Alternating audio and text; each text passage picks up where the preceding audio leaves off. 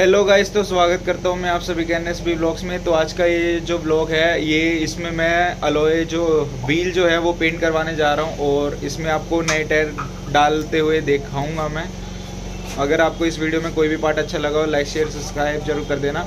अगर आपने इससे पहले वाले पार्ट नहीं देखे स्कूटी की कंडीशन ऐसी थी और ऐसी हो गई है, अगर आपने वो वाले पार्ट नहीं देखे तो नीचे डिस्क्रिप्शन में लिंक है या फिर मेरे चैनल पर जाना, आपको उसकी वीडियो मिल जाएगी। तो आइए इस वीडियो को चालू करते हैं।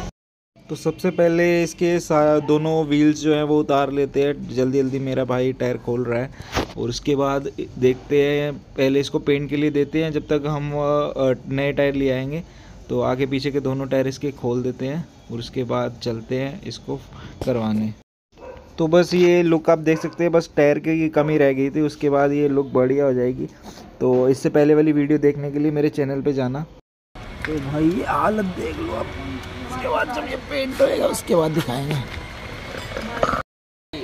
हाँ। भाई, अब जा रहे हैं इसको पेंट करवाने। हैं एक टायर खोला है, अभी दूसरा खुलेगा।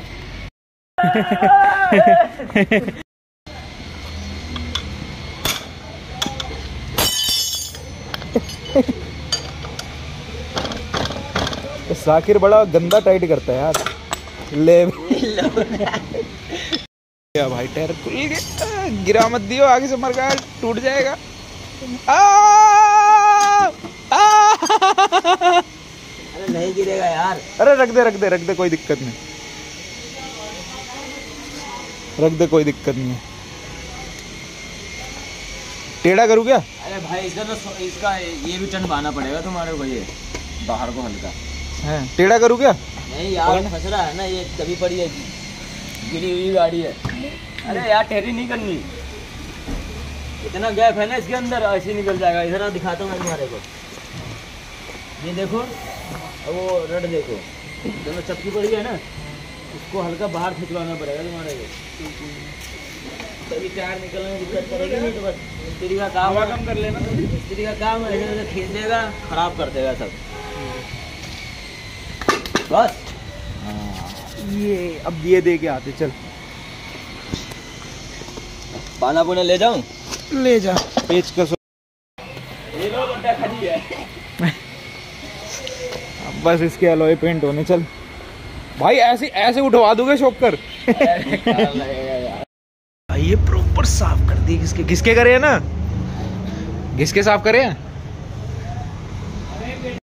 तो ये भाई टायर उतार रहे हो और अंदर से देख सकते हो कितना जंग लग रखा है। अब इसकी बफरिंग होगी जो अंदर से है, क्योंकि ये ट्यूब वाले टायर्स थे और ट्यूब डली हुई है इसमें। अब हमने ट्यूबलेस बनाना है तो इसकी पहले बफरिंग होगी, अच्छे से साफ़ होगा।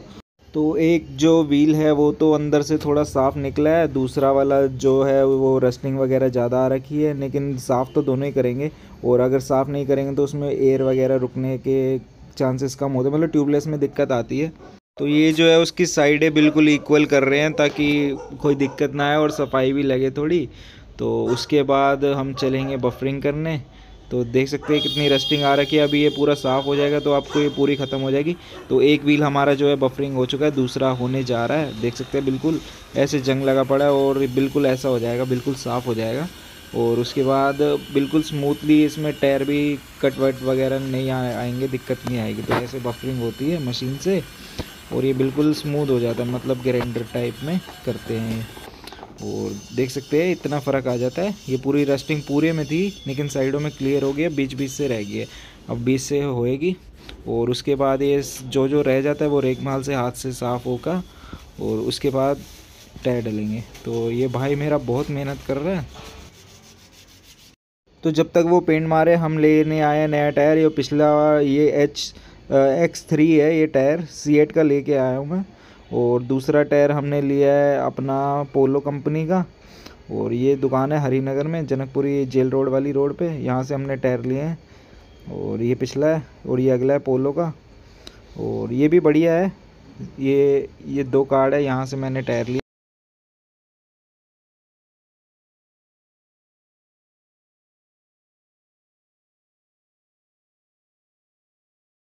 तो भाई एक टायर हमने पोलो का लिया है और एक टायर हमने सीएड का लिया है। दोनों पड़े हैं अब बस अलोई का वेट है। अगला टायर मेरा पोलो का पिछला सीएड का। अब ये डलवाएँगे। सुबह से दे रखी है अब जाके पेंट रहा है। सुबह से करा होता तो मज़ा आ जाता ये हमारा मोटा आदमी है। ये मान रहा है।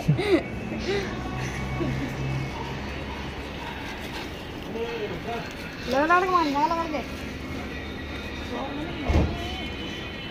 तो भाई सुबह से इनको पेंट के लिए दिया, पर इन्होंने अभी तक नहीं करा। अब जाके पेंट करवा रहा हूँ मैं ज़बरदस्ती। और देख सकते हैं, मैं ब्लैक में करवा रहा हूँ। वैसे ही सिल्वर में होते, पर हम ब्लैक लवर है तो ब्लैक में करवाएँगे।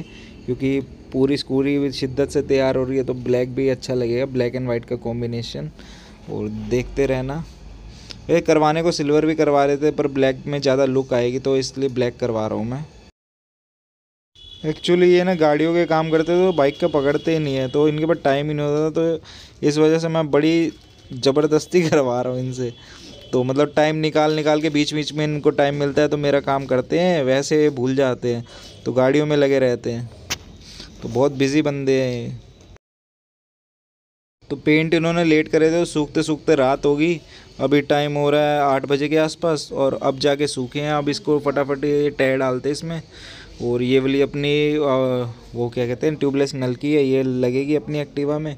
एमआरपी आप देख सकते हैं एक सौ अस्सी रुपये और, और ये नए टायर खोल के आप फटाफट इसमें फिट करते हैं उसके बाद मिलते हैं आपको फिट करके।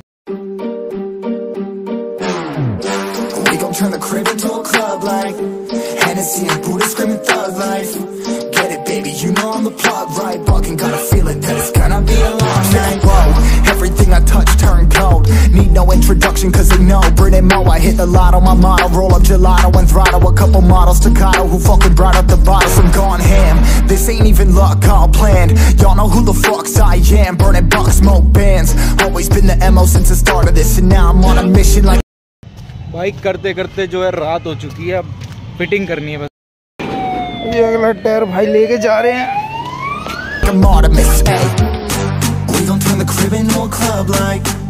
Hennessy and Buddha screaming thug life Get it, baby, you know I'm the plug, right? But we got a feeling that it's gonna be a long night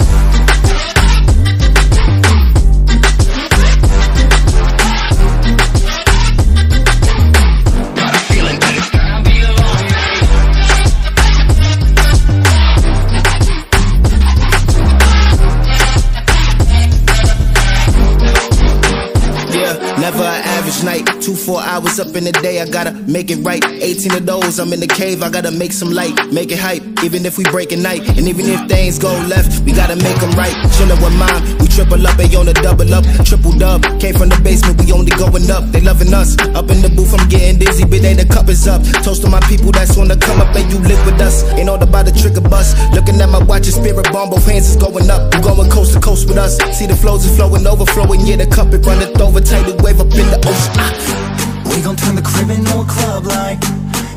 And Buddha screaming thug life Get it, baby, you know I'm the plug, right? We got a feeling that it's gonna be a long night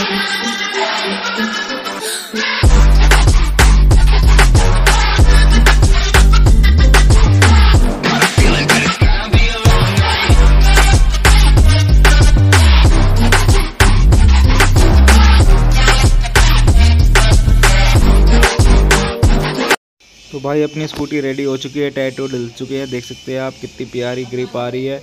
और मैं मिलता हूँ आपको इसकी next vlog में। तब तक के लिए बाय और चैनल को लाइक शेयर और सब्सक्राइब ज़रूर कर देना। और प्यारा सा कमेंट कर देना। कुछ पूछना हो तो नीचे कमेंट कर देना। इंस्टाग्राम पे मुझे फॉलो कर लो। और आने वाली वीडियो में इसमें मोनोग्राम वगैरह स्टिकर वगैरह का काम होगा। और जो छोटा मोटा रह गया वो होगा। तो बने रहे इस चैनल पे। और मैं मिलता हूँ आपको नेक्स्ट वीडियो में। और पुराने पार्ट नहीं देखे तो जाके देख